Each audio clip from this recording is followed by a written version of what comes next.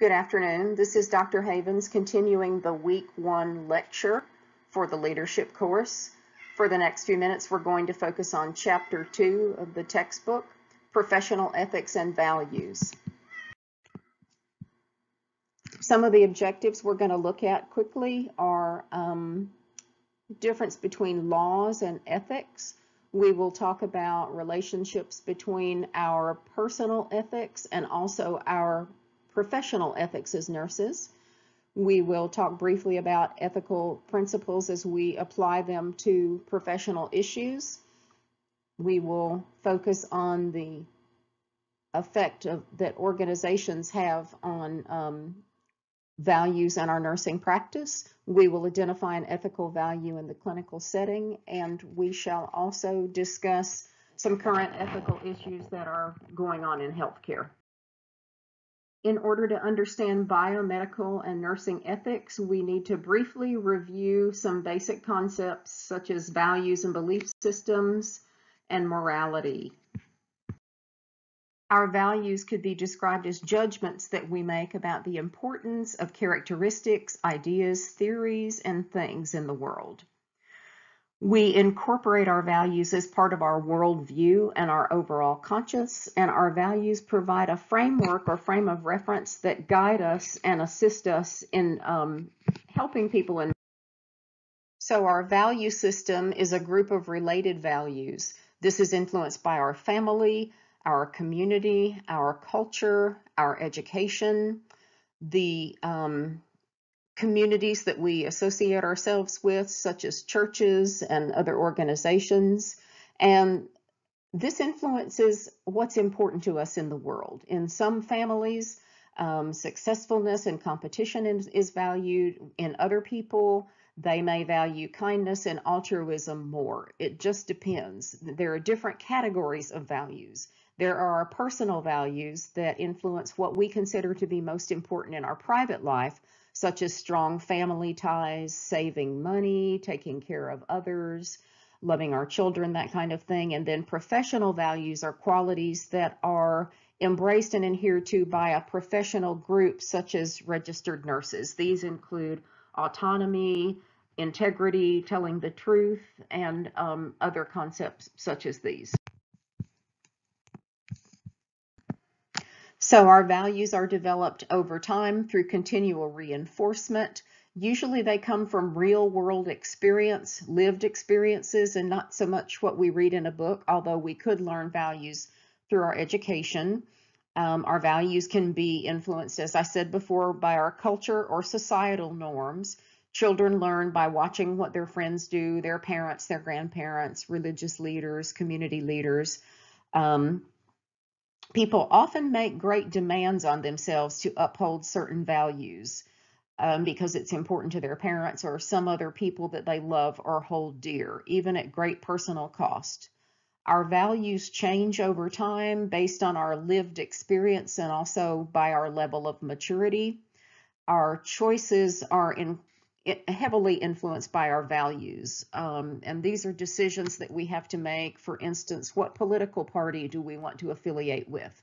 Are we more Democratic or more Republican, more independent, more libertarian? Do we value purchasing organic food for the family or are we fine with regular produce? Um, what type of healthcare services? Do we vaccinate or not vaccinate our children? What do we spend our money on? How do we spend our time? What do we do for entertainment? Um, what do we do to give back to the community? That kind of thing. So the way that people choose friends, make their financial decisions, and pursue a career, a career are all influenced by their values. Then belief systems are um, an organized way of thinking about the way that people think about the world and the universe. This is what we do inside our head to explain good and evil, health and illness, life and death, and so forth. This could be intertwined with our spirituality or our religious beliefs and practices as well. People use these systems to include an ethical code that specifies appropriate behavior. How do we act when we're with our family? How, to be, how do we behave when we're in the community? How do we behave when we're on our job? this can also be influenced by our religion or by other values. Um, and then there are a lot of technological advances that influence our belief system in healthcare. Um, a lot of this has to do with advanced directives. Does the patient want to do not resuscitate order? Does the patient want to be kept alive on um, life-saving machines, even if they're no longer conscious and they are not able to recognize their family, and so on and so forth. And this is actually one of the bigger biomedical um, and bioethical dilemmas of our time. So ethics is that part of overall philosophy that deals with right and wrong and also what motivates human behavior. And then bioethics um, applies ethical principles to life and death. And the implication is that judgments can be made about the rightness or wrongness or goodness of basic healthcare and life-saving practices. Some of the ethical principles that are really important to nurses have to do with patient autonomy, justice, especially social justice that we'll talk about in a minute, the concept of patient confidentiality, veracity or truth telling and being honest, and then professional and personal accountability.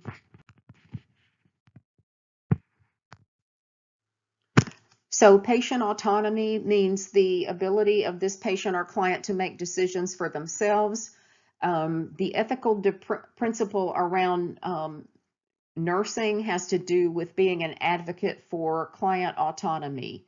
Um, if the patient is refusing a blood transfusion based on religious principles, if they do not want a vaccine, if they choose not to go undergo chemotherapy for a malignancy or that kind of thing. Um, nurses believe in supporting the patient's autonomy, even though this might not be a choice that we would make for ourselves. And this is often something that nurses struggle with um, but we don't want to be the one to try to enforce our own principles and beliefs and values on the patient because as a profession, we do support client autonomy. The ethical principle of justice is an important one in nursing practice. Um, and it requires us to treat every person equally, regardless of race, color, creed, ethnicity, social standing, sexual orientation, anything of this nature. Um, this also applies in both work and educational settings as a student. So based on this principle, we treat all clients equally and are judged by the same criteria. The ethical principle of confidentiality is one that nurses know well. This goes along with um, HIPAA law this is also an ethical as well as a legal issue. Um, sharing information about a client can be a breach of confidentiality um, if the situation doesn't warrant it. This is especially complex in today's electronic environment with all the technology going on and being sensitive, you know, about passwords and who can see computer screens and who has access to medical records and that kind of thing. So um, patient confidentiality is an ethical principle that we should be aware of when we're working um, with clients in client care at all times.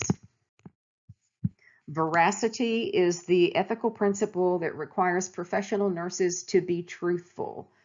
Truth is fundamental to building a trusting relationship with a client and a family.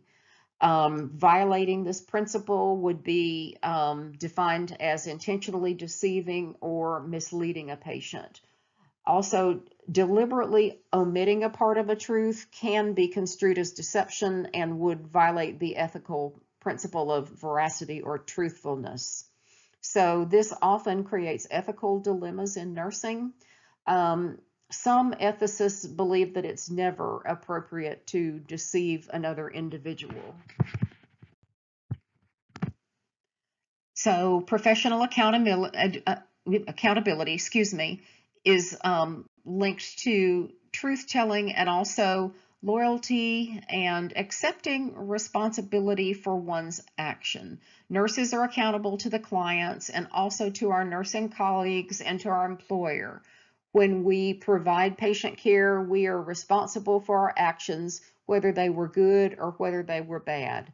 If something was not done Um, you don't want to chart it and then tell a colleague that you did. The um, concept of the standard of care evolves around the principle of accountability. Um, if we didn't do it, please be honest about that. Let someone know so that we can get it taken care of. In the long run, that will preserve trust with your colleagues and it's the better thing to do. Um, organizations are also accountable for patient care and the action of all of their personnel. So we are professionally accountable to our employers for upholding the standard of care. Let's talk for just a minute about the Code of Ethics. This is written by the American Nurses Association and can be found at the link www.nursingworld.org. Um, it gets updated periodically, so it's good to check back and, and review it. But this is a formal statement of ethical behavior for nurses as a group. Um, why do ethical codes change? Well, because they can reflect the value of our profession and um, the culture and society in which we're working, and changes do happen over time, especially in recent years related to technology. So um, just be aware that we do have a code of ethics and that it's good to review this periodically. And it's all about veracity and accountability and justice and the things that we've talked about in the few minutes. So um, nursing ethics also focuses on the needs of nurses and the way that we're treated by our employers and also on our experiences.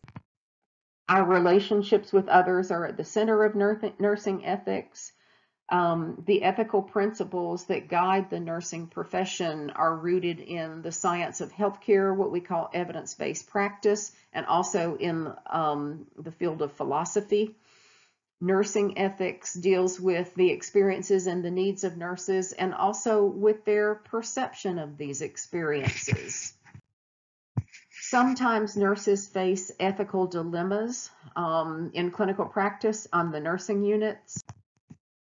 Sometimes when nurses are put in situations where we feel that we have difficulty practicing our highest ethical principles, this can be called moral suffering because it creates feelings of frustration and anger and um, sometimes not knowing what to do. Um, some of this can come from when there's maybe when you feel that um, the employer should be doing other things for the clients, but maybe there's an issue of cost containment. This can be frustrating to nurses. This is probably not that infrequent, or maybe patient loads. You feel that you could do so much more if you had fewer clients in your assignment. Um, I think this is a frequent kind of moral injury or um, an ethical dilemma that happens on nursing units. Ethical dilemmas happen a lot, both in our personal and professional lives, as we well know. Um, and this happens, it's an ethical dilemma anytime you have to make a choice between one or more ethical principles. Sometimes you feel like there's a better choice. Sometimes you feel like you're trying to choose between the lesser of two evils. And um, this is often, uh, uh, I think, a source of professional frustration for nurses. Some common ethical dilemmas are about um, who should pay for care. Should Medicare, Medicaid, the insurance companies pay if the person was injured and they were um, riding a motorcycle without a helmet? They didn't adhere to, you know, local or state helmet laws. They weren't responsible. Um, who should pay? For um, emphysema and lung cancer, if the person was a smoker, if the person was a substance abuser, and um, just endless varieties of things that we could talk about. If a client smokes or is overweight or doesn't take medication as prescribed, then what is our ethical dilemma? This is um, actually another one of the bigger biomedical and bioethical dilemmas of our time currently. In addition to ethical dilemmas around patient care, there are also ethical issues in the nursing workplace around leadership and management sometime. Um, what to do when you notice an impaired coworker can come up sometimes. personal loyalties can cause um, division and problems sometimes about addressing concerns. What to do when the nurse feels like the employer is not um, providing precautions that would save them from being in personal jeopardy. What about if there's not enough PPE on the nursing units and you're taking care with uh, uh, of patients with um, an infectious disease, that kind of thing. Um, when you report things, make sure that you always follow your change of command and when you express your concerns. Um, and please do um, follow whatever formal process your organization has to report um, issues around nursing practice and patient safety concerns. So these are just a few common issues that we experience in the workplace related to moral and ethical dilemmas in throughout nursing. Um, I hope this has been helpful to you. There are some practical issues that we deal with as nurses and also some more philosophical issues that we have to decide um, within our own hearts, I think. Thank you for listening.